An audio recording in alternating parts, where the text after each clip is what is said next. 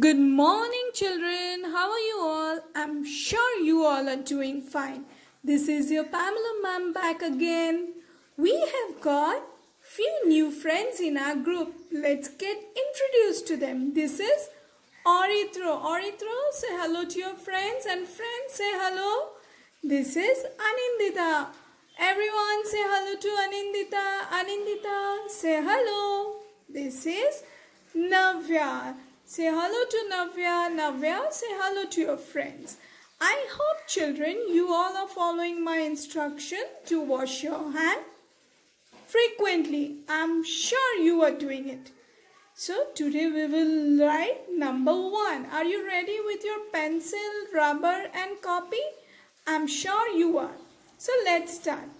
First you will write classwork in the left top corner of your copy and then you will write date in the right top corner of your copy. Okay? Parents can help you while writing this classwork and day. Now leave two lines from the left side of your copy.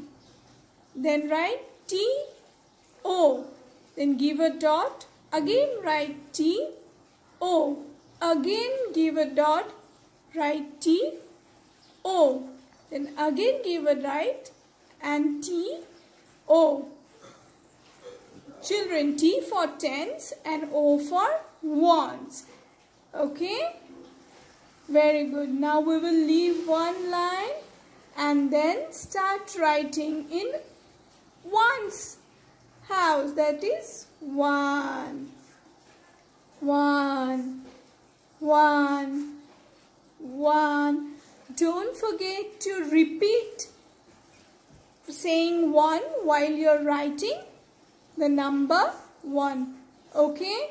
Don't forget. And write neatly. One. One. One. You can take help of your parents if you don't understand it. And you also can ask me anytime if you have got any question. So, like this you will finish your writing. This is number one. Okay children? Yes. Very good. Now this is over. Very good. And I've got some home assignments also for you. Okay, you will write number one in your classwork copy. Thank you children. That's all for today.